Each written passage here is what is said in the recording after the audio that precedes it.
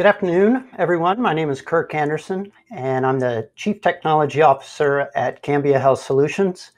Uh, very grateful to share with you today how Cambia has, over the last several years, uh, been partnering with Amazon Web Services to build a person focused health platform.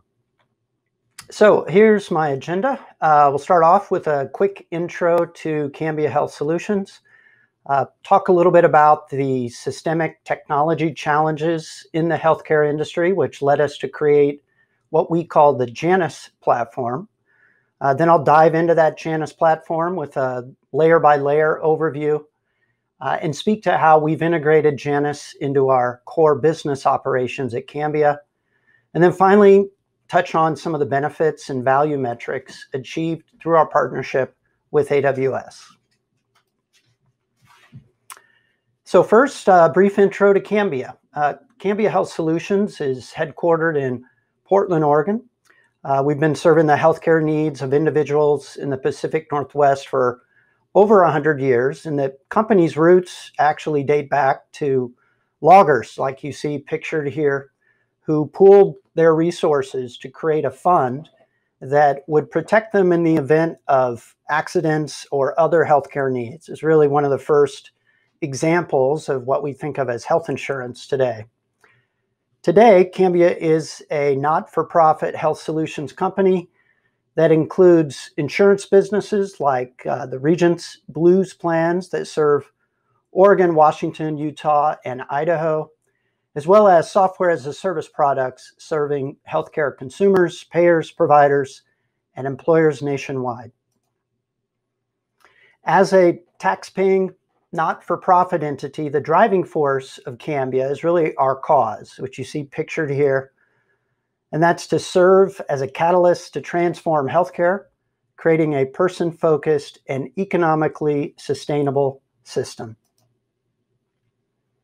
So, in support of that ambitious cause, we've been active over the last decade, really, on multiple fronts, uh, whether that's through Cambia's investment arm of Echo Health Ventures uh, joint venture started with Blue Cross Blue Shield of North Carolina and now part of an alliance with the investment arm of the Arkansas Blues Plan.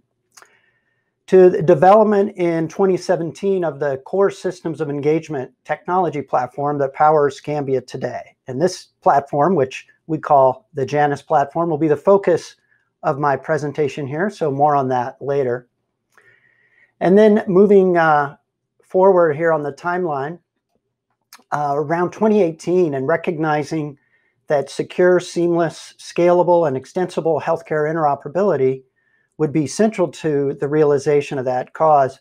We've been very active in helping to advance the cause of healthcare interoperability through national FHIR accelerator groups like the CARIN Alliance and Project Da Vinci. And then building on that, um, actively integrating capabilities from various Cambia companies uh, like HealthSparq and MedSavvy, as well as vendor and strategic partnerships and other third parties, all of which culminated in 2020 with the launch of Journi, uh, a new Cambia company, which is a digital all-in-one health solution guided by data-driven intelligence and human expertise that helps healthcare consumers and their families make the most of the health benefits that they have. And so now rolling into 2021, uh, we're focused on bringing the innovation and capabilities of the Janus platform to serve the two plus million members of our insurance brands like Regence.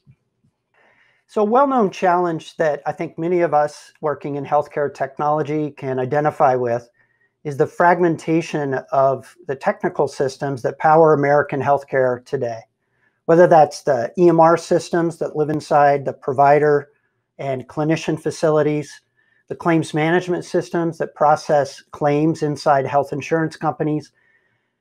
These traditional technology systems or platforms are not, in our view, person focused. In other words, uh, they don't consider or think about the individual healthcare consumer, but rather they see that individual within the different siloed business contexts uh, that they serve. So, for example, inside an EMR system, uh, that individual is a patient and their data is oriented around their clinical interactions with a particular provider system. Inside a claims processing system that may exist in an insurance company or PBM, that same individual is a member, and the data models and the business logic in those systems are all optimized for insurance business things like collecting premiums, paying claims, etc. And so this siloed, kind of very narrowly limited context view of that person at the center of all this care, uh, that individual health consumer trying to navigate through the healthcare system, this is, we believe, one of the primary challenges of our broken health system today. And so now pivoting to the, this idea of a person-focused healthcare platform. What do we mean by that? Um, why did we decide to build it? And how have we partnered with AWS to bring this idea to life? So for us, uh, our response was to build the Janus platform. And the Janus platform is a collection of over 100, I think 150 now, microservices organized into an infrastructure layer, a foundation services layer, and a business layer. And the Janus platform was designed from the outset to be able to ingest and normalize and master healthcare data associated with a particular individual from throughout all those disparate healthcare systems of record, the EMR systems, the labs and pharmacy systems, as well as from multiple different insurance systems. And to do this, this meant we had to invest significantly and partner with AWS to navigate some of the very complicated challenges related to HIPAA, uh, user consent management. And I'll touch on those in a minute. But this is also where the critical importance of standard-based, secure healthcare interoperability comes into play. Uh, this is critical not only to be able to get access to that data that lives in all those different systems, but to be able to build extensible business processes that bridge the siloed entities of healthcare so that we can create a system that to that person on the other end, um, the one that we're here to serve, they have experiences that to them feel like one holistic, seamlessly integrated system.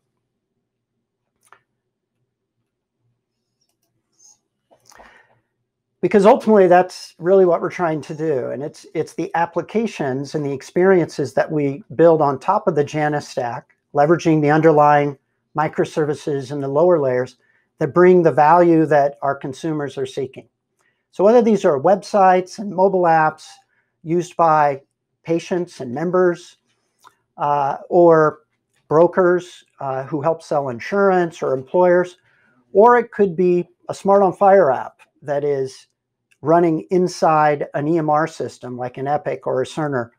These are all different user experiences that we are targeting to serve with the Janus platform. All right, so diving into this a little more, uh, into each of these layers, and starting with the infrastructure layer. So services in Janus are all immutable, containerized microservices that are owned by small teams, small DevOps teams, and those teams are responsible for all aspects of that service's delivery, uh, the quality, the security, as well as ongoing operations.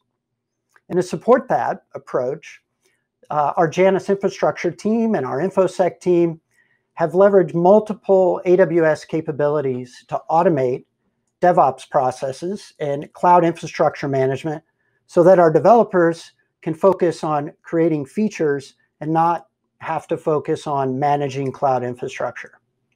So using AWS services like uh, Elastic Container Service and Elastic Container Registry uh, to manage the containerization of all these Janus services, or AWS CloudFormation to describe and provision that underlying infrastructure automatically within the deployment pipeline, uh, as well as AWS Code Build and Code Pipeline services to power our continuous integration and uh, delivery practices. We also use AWS services like CloudWatch and Elasticsearch uh, which are components of our overall monitoring, alerting, and logging approach, and are really instrumental in those engineering teams' ability to manage the health and performance of their services in Janus, and also to ensure that protected health information, PHI data, is not being stored where it shouldn't be, for example, in an application log. So now moving up the stack of Janus from that foundation, uh, sorry, the infrastructure layer into the foundation layer, this is where we're using those DevOps tools um, from the infrastructure layer to build foundational services, which to us, these are core services that are taken advantage of by everything that sits on top, right? So things like authentication services where we take advantage of Amazon Cognito, uh, identity services, services for auditing and logging. And given our microservices architecture, each of these Janus services typically uh, is going to manage and store its own data using AWS services like DynamoDB or Neptune or RDS, depending on what that service needs to do and what is the best data store and structure uh, to power that service the DevOps teams are empowered to, to choose that uh, best fit. And then that is incorporated into the service and their pipeline and is owned soup to nuts by that service team. Another uh, critical part of the Janus platform, critical ingredient, I guess, uh, is uh, event-driven interactions and architecture using publish subscribe messaging and uh, event routing and processing and capabilities from Amazon like SQS and SNS uh, are a big part of how we deliver that event-driven architecture. And then, of course, you've got AWS services uh, like S3 and AWS Lambda, and these are very commonly used by our dev teams as well. It's also in this foundation layer where we've oriented capabilities like data ingest using Harvester services to ingest FHIR data, but also other healthcare data formats, including custom one-off formats that uh, hopefully through the years become fewer and fewer as healthcare interoperability continues to propagate. Uh, and then lastly, the analytics that we do on top of all of this data, creating personalized insights that are then published for consumption by the services up the stack and eventually making their way into the end user experience. And I'll talk a little bit more about these in this slide. So now we're up into the business layer. And in the business services layer of Janus, this is where things are starting to get increasingly healthcare specific. So enabling features like searching for providers or managing your medications, paying healthcare bills, uh, through integrations with your insurance plan or your uh, HRA plan, if you have one, and validating benefits eligibility, uh, as well as storing your personal health data that has been acquired from all of those disparate health systems of record throughout the ecosystem.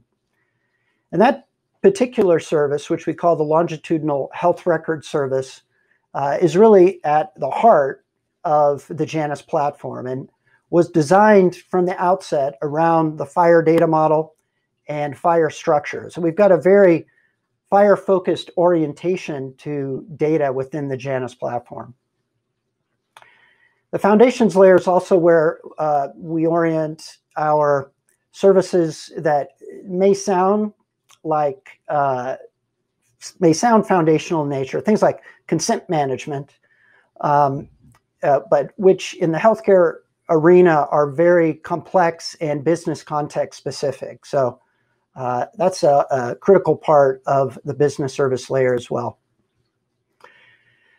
We're also using AWS uh, AI and ML services like Textract and Comprehend Medical to process data that comes in to our organization in a variety of formats, including faxes and uh, PDFs.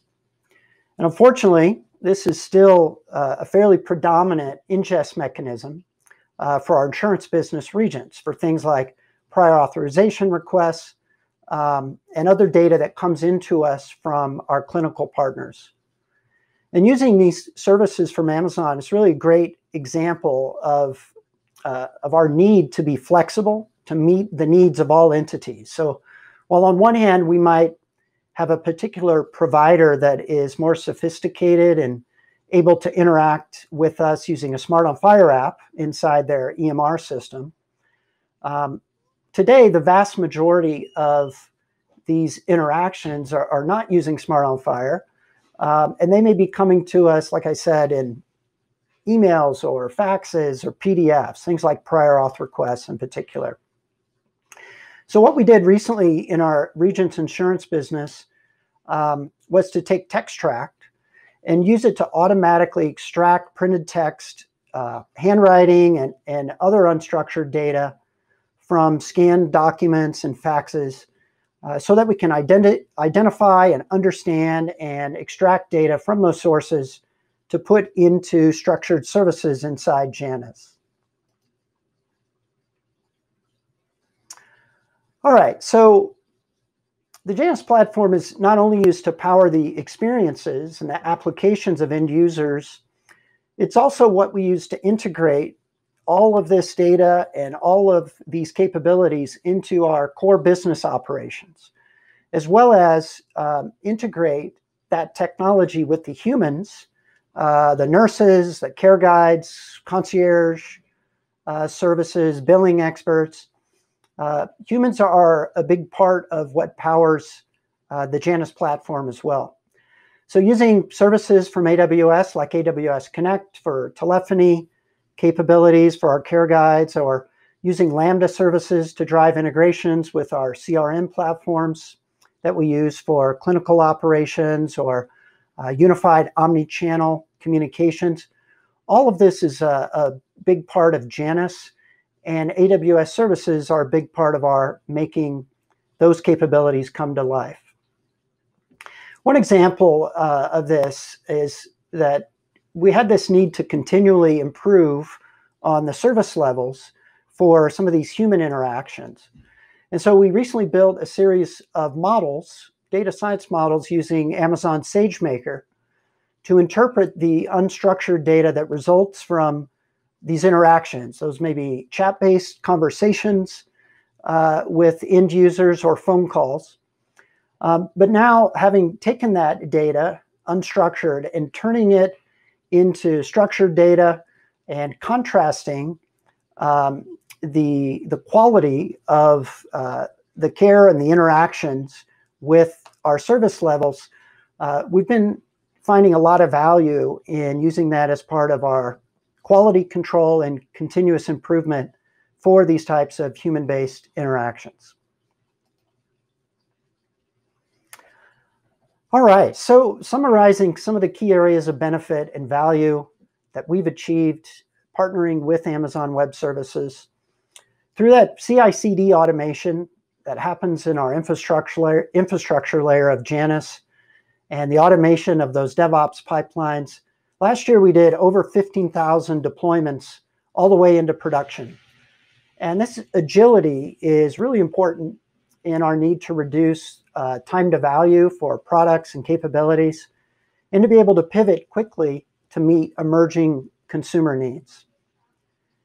That automation is also valuable from a security perspective, allowing us to reduce our internal SLAs for remediating, remediating security vulnerabilities within one business day.